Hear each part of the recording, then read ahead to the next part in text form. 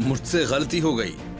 अब लोग उस गलती को सुधारने का इंतज़ार कर रहे हैं। शरद पवार ने अपनी गलती सतारा की एक चुनावी सभा में मानी। यहाँ छत्रपति शिवाजी महाराज के वंशज और बीजेपी उम्मीदवार उदयन राजे भोसले के खिलाफ प्रचार करने आए थे। असल में लोकसभा चुनाव में उदयन राजे भोसले एनसीपी की टिकट पर सतारा से चुनाव जीते थे। लेकिन विधानसभा चुनावों के पहले उन्होंने पार्टी और लोकसभा की सदस्यता से इस्तीफा देकर बीजेपी ज्वाइन कर ली। बीजेपी ने उन्हें सतारा उपचुनाव में अपना उम्मीदवार बनाया है। शरद पवार का संकेत इसी तरफ़ था। उन्होंने कहा कि लोकसभा चुनाव के दौरान टिकट बांटने में गलती हो गई थी और मैं इस बात को सार्वजनिक तौर पर स्वीकार कर रहा हूँ।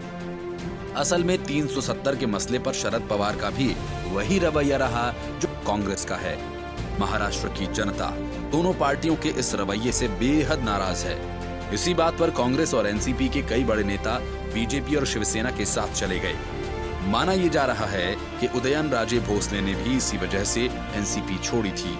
आर्टिकल 370 को खत्म किए जाने के बाद से पूरे महाराष्ट्र में बीजेपी, शिवसेना का ग्राफ काफ़ी ऊपर आया और महाराष्ट्र में कांग्रेस और एनसीपी के सामने अस्तित्व बचाने का संकट आ खड़ा हुआ है।